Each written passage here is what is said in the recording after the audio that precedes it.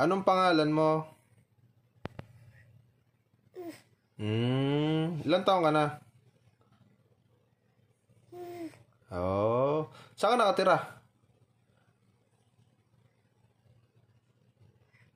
Ah, okay. Ah, saan ka nagwo-work dati? Hmm.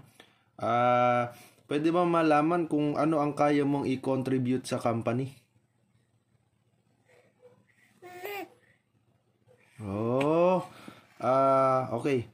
Five years from now, saan mo nakikita yung sarili mo?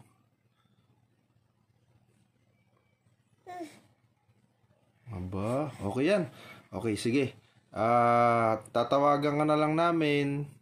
Ah, tapos itong yung ah, resume ay kukunin na namin, okay? Okay, congratulations, pero hindi ka patanggap ha.